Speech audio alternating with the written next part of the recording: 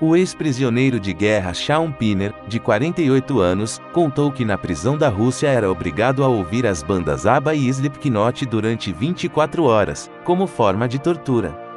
Além disso, ele levou choques, foi ferido com faca e até passou por uma simulação de execução.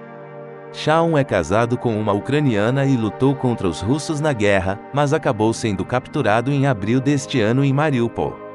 Ele relatou os seis meses de prisão ao jornal britânico The Sun, após conseguir a liberdade. Os últimos seis meses foram os piores dias da minha vida.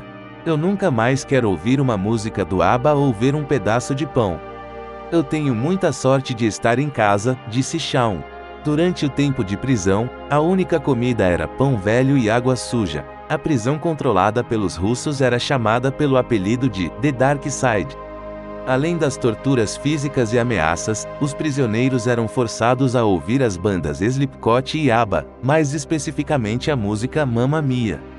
Ao ser transferido para uma segunda prisão russa, com condições menos piores, a música ininterrupta era Believe da cantora Cher.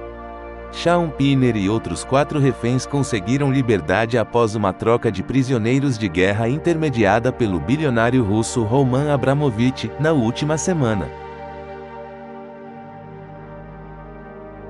Mais informações a qualquer momento.